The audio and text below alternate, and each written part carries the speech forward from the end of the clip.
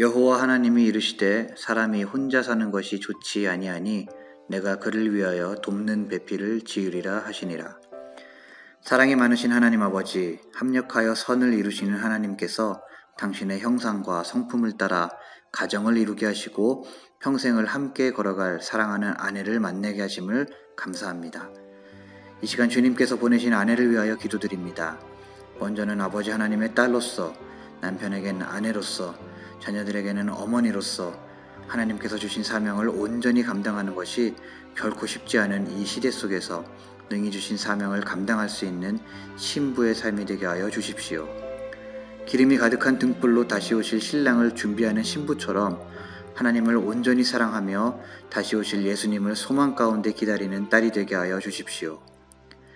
남편의 아내로서 가정의 비전을 온전히 이루며 서로의 부족함을 채우고 세움으로 가정에서부터 하나님의 나라를 세우는 복된 아내가 되게 하여 주십시오. 하나님께서 보내주신 두 딸의 어머니로서 삶으로 그리스도의 사랑과 복음을 가르치고 흘려보낼 수 있게 하셔서 다음 세대를 하나님의 자녀로 온전히 세우는 어머니가 되게 하여 주십시오. 주님 때론 육신의 연약함으로 넘어지고 지칠지라도 함께 기다리고 격려하며 하늘의 소명을 끝까지 이루기 위해 함께 걸어갈 수 있게 하여 주십시오. 그때그때마다 필요한 힘을 하늘에서부터 공급해 주십시오. 먼저는 하나님의 말씀으로 영을 채워주시고 생각과 감정을 사탄에게 빼앗기지 않게 하여 주십시오.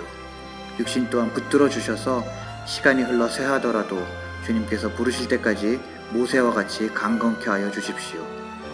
하나님의 부르신 딸로 세상과 가정과 교회에 하나님의 은혜와 예수님의 사랑을 흘려보내므로 하나님의 나라를 세우는 축복의 통로의 삶이 되게 하여 주십시오. 오직 예수님만이 전부이자 주인 되심을 고백하며 예수님의 이름으로 기도드립니다. 아멘.